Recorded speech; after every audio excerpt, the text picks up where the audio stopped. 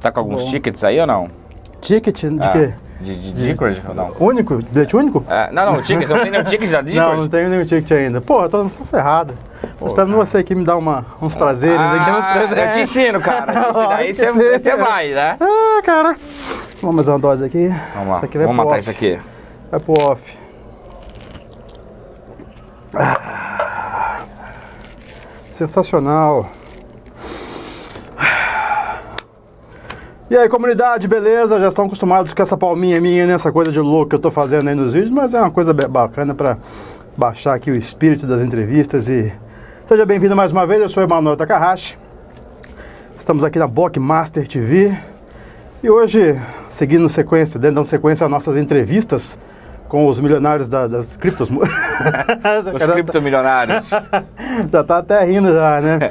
Nossas entrevistas bem descontraídas hoje mais ainda, né? Estamos tomando aqui uma, uma bebida, né? Que é fermentada, não é fermentada, mas ela é colocada em tonéis de carvalho, né? O famoso whisky.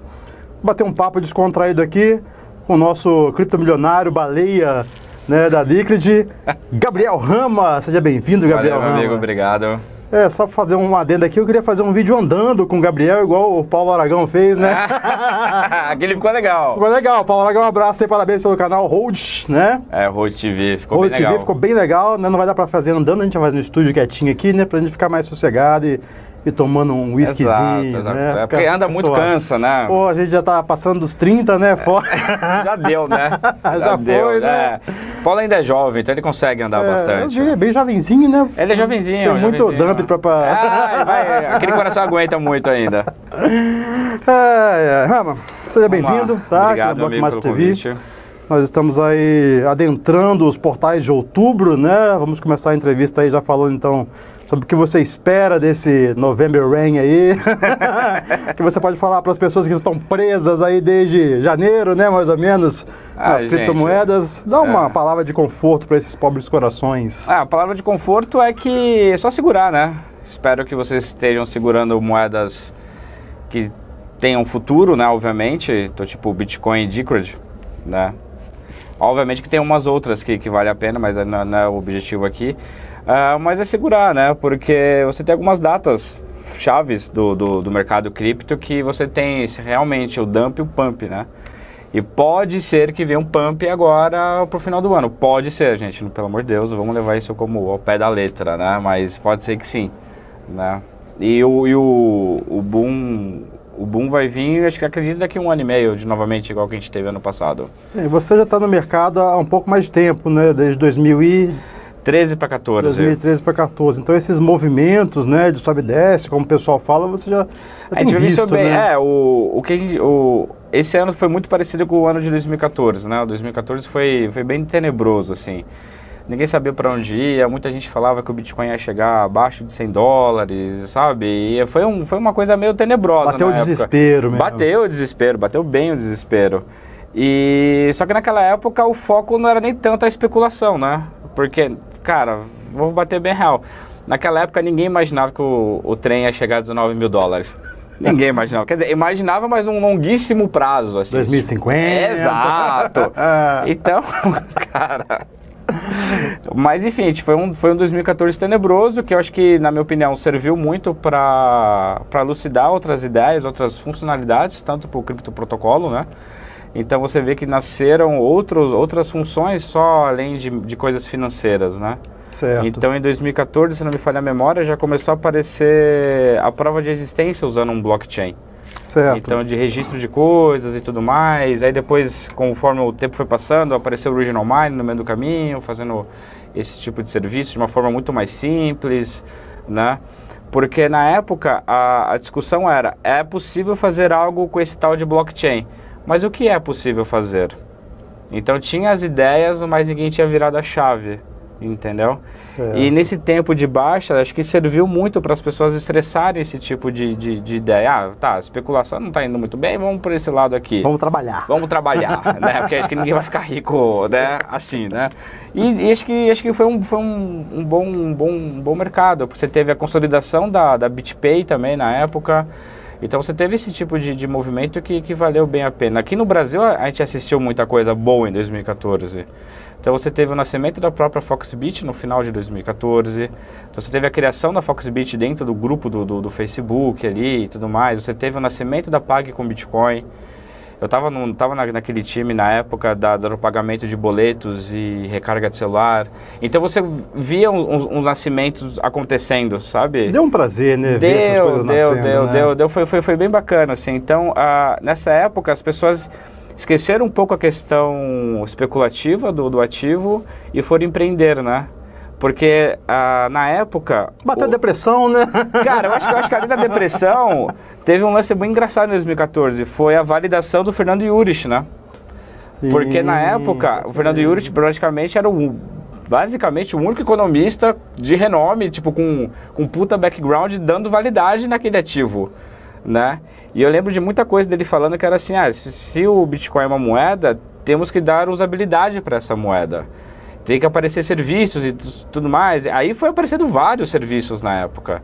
É, pessoal, É, sabe? Ah, então tá, vamos esquecer a especulação e vamos colocar isso aqui para fazer. Aí teve a- até o lançamento da PagCoin, que era um gateway brasileiro de, de, de, de moedas, né? Do, do, do Bitcoin.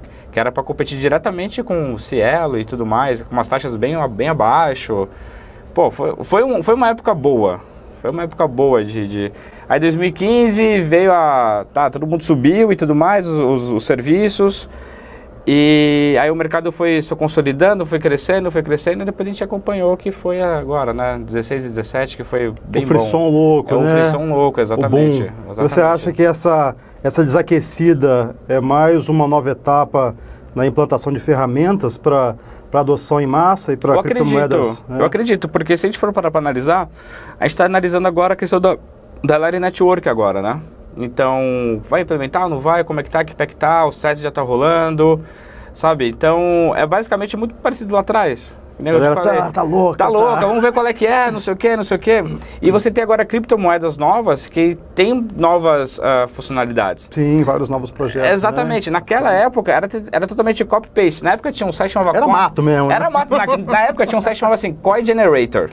Acho que era coingenerator.com, alguma coisa assim. Você pagava um, um mínimo fee, colocava, você tava três linhas de comando, pô, você já tinha uma moeda. Nossa! Tipo, Emanuel Coin. Nascimento do Scan. É, cara, saiu um monte, um monte, um monte. E sem nenhum projeto, sem nenhum propósito. Porque naquela época, mais ou menos, acho que foi em 2012, enfim, não vou lembrar agora o ano exato, você teve o lançamento da, da Litecoin. Então, Exato. dentro da Litecoin, você teve uma série de outras ramificações de, de, de criptos, né? E só que, poxa vida, nenhuma tinha aquele, aquela usabilidade. Aquela sex não- appeal, né? É, não Aquela, tinha, né? não tinha. Aí você então se passou esse, esse frison das novas É criptos. frisson ou frisson? Mas eu falei frisson. Que seja. For. Ou é, o objetivo é o mesmo. Aí você chega em 2016, basicamente, e você tem o lançamento da Decred. Por falar, né, por falar em Liquid, né, eu sempre falo aqui para os espectadores do canal, claro, a gente tem um- uma super preocupação em fazer conteúdos para a comunidade, mas a nossa preocupação também é falar com as pessoas leigas, né, que estão Sim. vendo esse mercado pela primeira vez. E uma coisa que a gente nota na Liquid é que a comunidade dela, a usabilidade dela e as ferramentas são muito poderosas. São. né? Você tem várias N possibilidades para trabalhar com essa moeda. Eu queria que você falasse um pouco para o pessoal que é leigo, como funciona a Decred, né? Esse lance da comunidade, ticket, Aham. uma, uma explanação geral básica para a galera entender e para investir também, né? na Por que né, não? Poxa. Por que não? Acho que, acho que É, vai, acho que vale. Vale é. essa, essa diquinha aí. A, a ela, ela vê como com uma com um propósito da questão da governança, né? Porque quando o Satoshi Nakamoto, ele, acredito eu, isso é a minha opinião, ele criou o protocolo, eu acho que ele não imaginou uma série de fatores que aconteceu ao longo do caminho, do tipo a dominação dos mineradores, né? Então, tipo, você ter o hash power praticamente na mãos de poucas pessoas e eles que meio que decidem o caminho da moeda, porque eles que decidem o código, o código que eles vão rodar para validar as transações, né? E isso é um, eu vejo isso como algo meio perigoso, porque é uma história bem bacana, assim, você você tem a cabeça e o rabo. Às vezes na vida você é o rabo, desde que você saiba quem é o cabeça. Porque aí você fica meio que seguro. Fica na sombra. ali, Exato. né? Ou às vezes você é o cabeça e você é o cabeça e você segue e as pessoas vão, serão o rabo e tudo mais. E quando você tem um minerador que você, você praticamente você está no rabo desse, desse ecossistema, é meio, é, meio, é meio complicado. Parece uma centralização, né? Exato. Você, você parar pra ver, ele é um pouco centralizado nesse sentido. né? Uh, aí você vem a, a galera do, do próprio desenvolvimento do Bitcoin, que era do BTC Switch, né, que era o Jake e, e o seu time, e eles perceberam que ali dentro era muito complexo você dar opinião e falar assim, olha, vamos para o caminho A, vamos para o caminho B. Não tinha. Não tinha. Era o que o cara lá queria fazer e tal. E aí ele falou, opa, isso aqui não é descentralizado, isso aqui é centralizado. As tomadas de decisões que decidem são, é uma cúpula, né? E aí ele saiu fora e começou a desenvolver o projeto da Decred, né? Na qual era onde todo mundo conseguia decidir em conjunto o caminhar da, do, do, protocolo, né? Então ele inventou, uh, ele se baseou num paper, que agora não vou lembrar qual, da modalidade híbrida, de você usar o POW e o POS, né? Que você minera a, a moeda das duas formas e, e, os dois mineradores, eles validam o trabalho um do outro. Hum, então não, você, não, você meio que divide a responsabilidade da, da, da autenticação, da, da validação da transação, desculpa, e você inibe o ataque 51. Então, o que acontece? O ataque 51 no Bitcoin, basta você dominar 51% do hash power que você dominou a rede. Já na Decred, você precisa dominar tanto os tickets quanto a, as máquinas. É, aí não dá. Aí não dá. aí não. Aí não dá. A estimativa é de 20 vezes mais o custo do Bitcoin. É, não, né? não dá. Então, uh, então ele traz essa questão e ele traz um, uma coisa bem interessante que, que a comunidade deu uma perdida, que é o skin in the game. Então quem tem o ticket da DCR, ele literalmente está com a pele em jogo, porque ele vai decidir o futuro do ativo dele, do stakeholder. Né? Os stakeholders têm aquela, aquela opção, eles não são obrigados a comprar o direito do voto e decidir em conjunto o que vai ser feito ou não. Quais são os novos projetos, caminhos, é, etc. Exatamente, exatamente. Isso eu acho muito bacana. Então, na, em 2017, teve aquele hard fork do Bitcoin, que foi um fuzuê que ninguém dormiu. Eita. Falei, pronto, agora ficou pobre, ficou rico, fica aquele desespero. Nossa, nem me lembra. Na Decred rolou o hard fork sem trauma. Não foi traumático. Num belo dia, ah, deu atualização, todo mundo atualiza a carteira, foi o hard fork. Acabou. Acabou, acabou. Ninguém chorou, não teve, não teve split, ninguém teve que salvar a chave privada. Nossa de, Sabe? Ficou uma coisa Parece suave. do recreio. exatamente, exatamente. Então é bacana a questão do ticket, porque ele coloca todos os usuários que, que tenham vontade, tenham essa opção, de participar das tomadas de decisão. E a dica de, ah, no, no longo, no médio prazo, que agora é médio prazo, ela vai se tornar a primeira DAO, né? a primeira a organização autônoma descentralizada. Uhum. Isso é muito bacana. Então ela vai ser o primeiro protocolo, o criptoprotocolo, vamos chamar de orgânico barra vivo, que as pessoas que vão decidir sem ter um centralizador. Já elevou, elevou o, o, patamar né, da moeda, já foi levado. Já, né? já foi, cara, já foi. É aí, aí, no, aí no meio do, do caminho, eles fazem essa questão do ticket da governança. Então todo mundo participa do jogo, né? E eles inventam no meio do caminho o Atomic Swap. O Atomic Swap é uma coisa fenomenal. Fenomenal. Eu lembro quando eu li aquilo a primeira vez, eu não dormi acho que uns dois dias. porque ele inibe realmente a ação do terceiro. Então, na qual você tem Bitcoin, eu tenho DCR, e nós conseguimos fazer uma troca atômica. Conversamos entre nós. Exatamente, sem a necessidade de um terceiro aqui sentado. Isso é fenomenal. E, você, e nós dois temos a garantia de tal transação irá ocorrer. Que eu vou receber e você vai. Exatamente. E se num dado momento eu furar ou você furar, ninguém perdeu o ativo. Porque dentro do código do Bitcoin, da Decred, da Litecoin, são, que são códigos parecidos, né?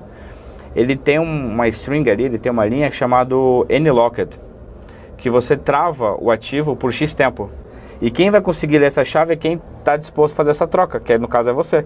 Então, se você em 48 horas não abrir essa, essa porta, vamos colocar assim, essa chave, o meu ativo não vai para você. Fica congelado ali. Fica congelado. E se você não fizer isso em 48 horas, isso aqui morre e volta para minha carteira. Volta para sua carteira. Cara, é sensacional. É sensacional. Então, isso que acontece. Você consegue negociar com qualquer pessoa do mundo uh, de uma forma segura muito bom, muito bom, muito sensacional, cara. Isso é sensacional. E no longo prazo, a tendência, isso é longo prazo, tá? É que Duas nós... semanas, mais ou menos. É, é que cons... cripto, né, amigo? É... A gente tem que acelerar. É que conseguimos, por supor, tokenizar essa, essa linda garrafa, esse, essa, esse, esse, lindo líquido dos deuses, é. e você consiga uh, fazer uma troca atômica com uma outra pessoa. Sobre isso. Então você compra o direito dessa garrafa por X DCRs Ok. e você tem é, é, esse título, vamos chamar de título, na qual você pode resgatar em algum, algum outro lugar. Mas isso é uma viagem, tá? Sim, Não tô falando que vai incrível. acontecer, tipo, Vai, vai acontecer. num dado momento. Tem que acontecer, vai acontecer, muito bom. vai. É, a entrevista ela não é muito longa para você poder saber mais coisas com relação a isso, mas é, em primeira mão aqui eu quero falar pro, pro Gabriel que ele vai ser um dos palestrantes da Blockmaster, do Fórum Blockmaster em novembro. Ah, eu Ele serei? não estava sabendo disso, mas agora ele está sabendo disso aqui no vídeo, tá? Ah. Os parabéns então, já vai começando a preparar o material. Obrigado, obrigado. sabia, né? Isso só da data, só. Né? É, Data, ver aí a agenda, né. É, é, é. Gabriel também é CEO da Profitify. né? Exatamente, Que exatamente. é uma exchange aí de, de criptomoedas que tem uma, né, um projeto bem interessante. Fala um pouco pro pessoal também da, da- desse projeto. Cara, a Profitify ela nasce com, ela nasceu com, com um propósito um pouco diferente das outras exchanges, né? A gente percebeu, a Profitify ela começou o desenho dela em 2014. A gente começou a fazer o código em 2014, mas como eu falei, houve aquele, aquele desânimo. e aí foi, pô, não vai dar para montar algo, algo especulativo agora. Sim. né? Então a gente deu uma, uma estacionada e tudo mais. Então a gente fez uma quebra de paradigma em várias questões da, da, Exchange. Então a gente fez a questão da uma plataforma modular, então são módulos dentro da plataforma, né? Ah, nós temos o drag and release, que você pega a ordem, você move para cima e para baixo para você encaixar. E a gente fez uma parceria fenomenal, assim. Foi algo que deu mega certo, que é a Blockchain ID, junto com a Original Mine né? Então nossos usuários eles eles não possuem senha nem e-mail. Vai direto. É, vai direto. Então eles fazem o cadastro na, na Original Mine, é muito bacana. Eles fazem o cadastro na Original Mine, ah, ele vi- eles viram um hash dentro de um blockchain, né? Eles são, então meus meus clientes são um hash praticamente. E na hora da entrada é como se fosse entrar numa balada que você só mostra o documento. Ah, Só só mostra assim, opa, VIP. é, eu sou o Emanuel, não sei o que, tá aqui meu CPF, blá, blá, blá, beleza, beleza, Bom. entrou, eu não fico com o seu documento. Aí você acessa e acabou, e compra, vende o seu ativo e tudo faz mais. o que você quiser ali. Exatamente. Com acesso VIP. Exatamente. Então, ah, essa, essa acho que é uma das melhores ah, features que nós temos. E sem contar que a gente foi os primeiros no Brasil a negociar DCR. Então, a Decred, a gente que foi os primeiros no par, ah, no, ba, no par BRL, desculpa, BRL. Para real. É, porque a Bleu Trade, que foi a, é uma, uma, uma exchange brasileira também, ela foi a primeira do mundo a negociar a DCR. Muito bom. DCR no Bitcoin. Então, a gente foi a, segun, a segunda no Brasil, mas porém a primeira na questão real. Legal. Então já fica a dica aí, pessoal, né? Comprar moedas, Bitcoin, Decred, já vai acessar lá Profit, é, Profit, é, É Profitify.trade. Ponto trade. eu tava tentando lembrar aqui o ponto .com.br, mas é ponto trade, não é whisky não. e por falar em whisky, por falar em festa, por falar em treta, tretas do passado, né? Vamos desvendar aqui algumas tretas do passado. Você lembra de alguma treta do passado épica que aconteceu aí no Poxa mercado de cripto? A gente sempre gosta de falar de tretas, né? Teve várias, cara. Teve Uma que várias. marcou a sua, a sua infância. Uma que marcou minha infância que eu achei assim mega bizarro foi um criptoempreendedor, né? Aham. Que tentou. que ele tentou ir no INPE, INPI, né? Sim. Registrar o nome Bitcoin. Não. Ele tentou, meus não amigos. fez isso, não. Tentou. Um brinde a esse criptoempreendedor. Ó, o criptoempreendedor aí, ó, que quis. Ele queria simplesmente registrar Bitcoin. É, ele queria registrar a palavra Bitcoin. Eu achei isso bem interessante, assim. É bem surreal, É, né? bem surreal. Eu acho que essa foi, essa foi crucial. E as pessoas descobriram, obviamente. né? Não sei quem descobriu. Sempre tem um, né? Sempre, tem um que descobre. O hacker, né? é, Sherlock Holmes. joga no grupo, aí a galera vem, né? E por aí foi, por aí foi. Mas essa foi épica, assim, essa foi bem. A, a- a nossa comunidade, ela tem um. um Tem um quê, né, tretal, É, né? ela tem uma fera, ela gosta desse negócio. Faz né? parte do, do DNA, né, É. da comunidade Bitcoin. Mas essa, mas essa, essa é antiga, né? Então as pessoas que são um pouco novas, elas realmente não conhecem É, essa. sempre tem treta novas aí pra gente, pra gente se aquecer, né? Aquecer os nossos corações enquanto esperamos o próximo pump de criptomoedas. Tá chegando, Tá, tá, chegando, tá segundo o chegando. profeta aqui, né? Tá chegando. Tá chegando. A minha barba era maior. Se tivesse maior, vocês iam ver que era realmente profetizado. Mercado de criptomoedas para os próximos cinco anos, qual é a sua visão? A gente sabe que tem vários projetos aí que estão entrando né, no mercado. Temos aí eh, vários projetos de, cartão, de, de criptobanco, Aham. onde você vai poder usar no dia a dia. Qual a sua opinião sobre isso? Cara, eu acho assim, criptobanco, eu achei a ideia bacana, mas eu acho que não, não funciona. Na minha, minha opinião, assim, porque você está centralizando, né? Então você está pegando a sua moeda, você está centralizando ela. Eu acredito muito nas exchanges descentralizadas. Olha só que só eu tenho uma exchange né, centralizada, porque ela é centralizada, as coisas acontecem na minha plataforma, né? Mas eu acredito num longo prazo, nesse prazo mesmo que você falou, de exchanges descentralizadas, né? Então vamos supor, a minha, a minha exchange pode vir a não existir mais daqui a um tempo por causa desse mercado de, de, de descentralizados. Acredito muito na questão do Atomic Swap de uma forma com, uma, com outras aplicações, é. né? A Politeia rodando da Decred, que é aquele repositório de ideias, que eu acho que isso vai ajudar muito também no, no longo prazo. E a questão de valor, né? É realmente o Bitcoin receber a, a imagem que ele tem de ser um, uma reserva de valor. Eu acredito muito do Bitcoin ser uma reserva de valor hoje no, no longo prazo.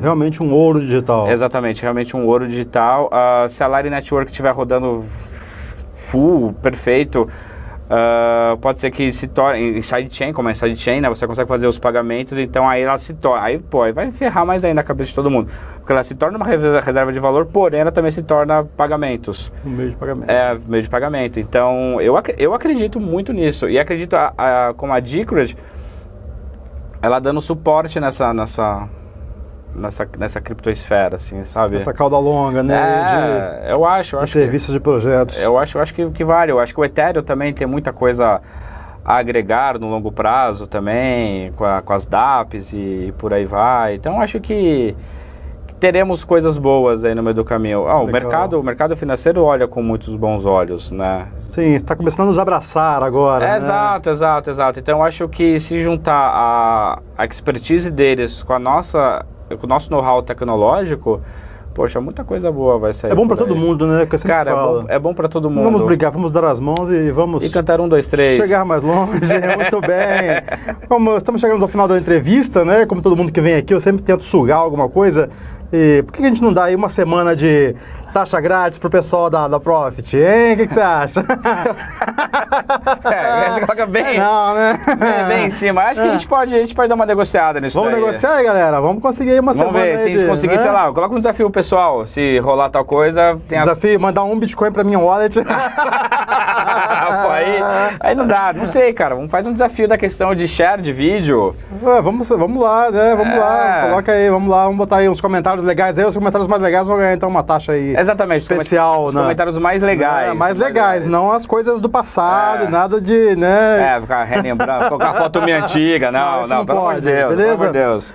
Rama, um espaço aí pra você dar um recado pra comunidade diretamente, né? Fazer o seu jabá aí, mandar os seus beijos e. vamos lá, vamos que vamos, esperando o pump de dezembro. É, exatamente. Pô, galera, que é, primeiramente eu gostaria muito de agradecer o convite. Né? Eu acho, eu acho o seu canal bem legal. Eu acho que a gente precisa desse- dessa geração de conteúdo mesmo. Ah, quero agradecer a todo mundo que, que acredita no, no, no projeto, no meu projeto, nos projetos que eu já vivenciei. E é isso, eu acho que a cripto é o futuro, né? Vão, vão para cima mesmo. Sempre lembrar do Emílio, eu levo o Emílio sempre comigo aqui. É vermelho. né? E, e- Levanta aí, levanta a perna aí, Aqui, pessoal. aqui, ó, aí, pessoal, ó. aqui, ó, o Emilhão aqui, ó, comigo, ó, meu brother. E, e é isso, e compra na Profitify, a gente tem a única exchange com cashback, então você coloca a sua, a sua ordem ali passiva, maker, e você recebe 0.1 dela. Então, por que você vai deixar a sua ordem numa outra exchange que você vai pagar? Deixa comigo que você ganha. Né? A gente tem a menor taxa também de, de, de, de, de execução, então... Isso mesmo, aí qualquer coisa vocês podem mandar mensagem que eu sempre respondo. Muito bom, aí, jabá feito, um brinde feito aqui então para agradecer a entrevista. só um bolinho aqui. E um abraço para vocês. Um abraço. Até a próxima. Ah. Olha assim, ó. Você Fazer um pra screen. caralho, né? Cara, valeu. Foi bom pra caralho. Cara, eu me empolgo muito, velho. Você tem que colocar uns limites aí, que senão eu vou falar até